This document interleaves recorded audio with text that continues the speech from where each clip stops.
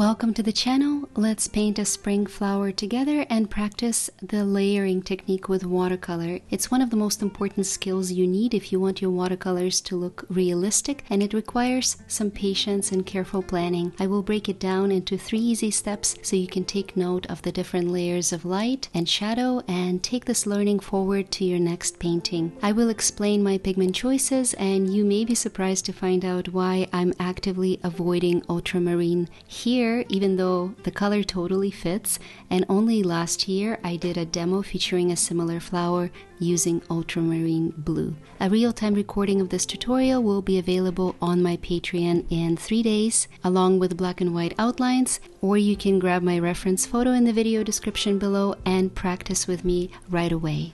Let's get started with the first layer. I'm painting on Arches cold pressed. It's a 7 by 9 inches block, 140 pounds in thickness, and you can choose any paper at least 50% cotton so it can sustain the layers we're going to paint. We need two colors minimum, magenta and phthalo blue. Mixed together, they will give you a gorgeous purple shade. And of course, you can simply use purple straight from the tube like I did. If you're feeling adventurous, you can also add a splash of opera pink here and there, but it's completely optional.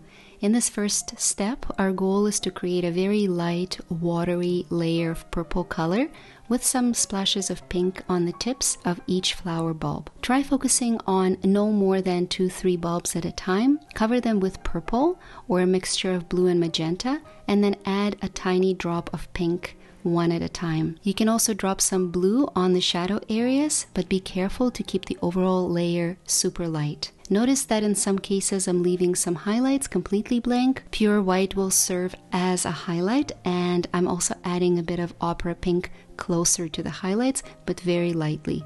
Opera pink is a fugitive and granulating pigment. It will fade eventually, but for a few years, these splashes of pink will look super vibrant and make the overall painting pop in those places where I put it. As I move down the stem, my mixture is becoming slightly more saturated and I'm adding more blue splashes to indicate future areas of dark shadow. And yet overall, this layer is still very light and we can add a little bit of green and perylene violet on the stem, keeping our paint to water ratio very similar, very light. If you don't have perylene violet, you can use any warm red or even brown. And don't forget to add small bits of purple inside the flower bulbs that are just about to open. When you're done with the first layer, the most important thing is to let it dry completely now we can work on the second layer and cover only those parts of the flower that contain shadows.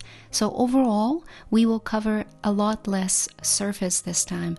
Our pigments are the same, but this time let's use a little bit less water. And every single pigment I choose is fully transparent, so the first layer of color is still visible as we cover it with the second layer.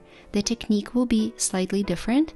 Notice that I'm painting the shadow area with the tip of my brush, and in some cases, I blend it with clear water. In other cases, I'm leaving a sharp edge on the shadow. It's not always necessary to have sharp shadows, but it does help create areas of focus and separate the part of the flower that's facing the sun from the part that's facing away from the sun. We talked about this so-called edge of light in the grape tutorial, and you can revisit it on my channel and also on Patreon. My blue is called Phthalo Blue Green Shade. It's one of my favorites from QoR and I'm purposely avoiding ultramarine because although it is a beautiful color that matches this hyacinth flower, the pigment itself is granulating regardless of the brand you choose for ultramarine. And this granulation interferes with glazing color and tends to create texture which I don't want to see in this case. Granulation will muddy up the glazes and it's something that you can notice with practice.